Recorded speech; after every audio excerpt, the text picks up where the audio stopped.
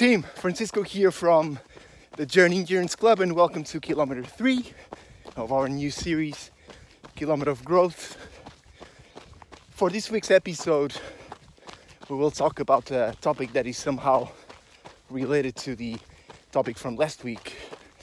Last week we talked about put your ego aside, and the main message of this week's episode is set your own finish line.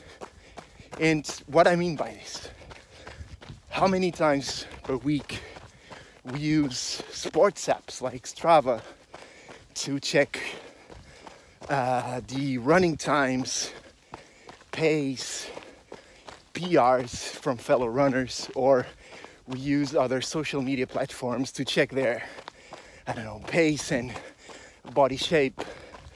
And even at work, we we look at our workmates to see if they are doing more than we do. Is that really our main focus? So, the main message is ignore those who you might consider competition. Don't compare yourself to others.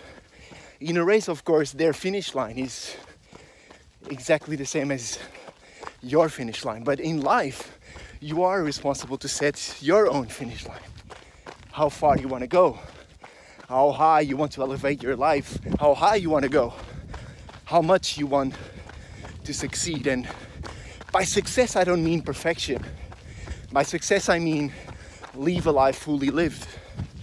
So, at the Journey Endurance Club, we are looking to create a space not for people, fellow runners, to compare with each other because we what we really want is you to connect with other fellow runners, people who have exactly the same mission as you. And we call this mission mission purpose, which is we are seeking to be the best version of ourselves. So I leave you with a question.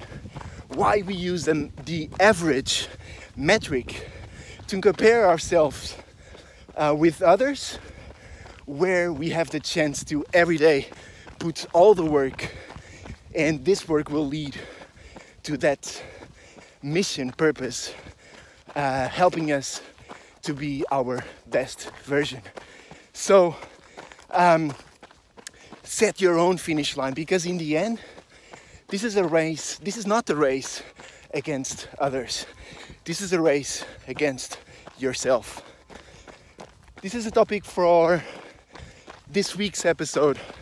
Please let us know what you think about this topic. Um, you know already, you can go. We got your back. See you next week.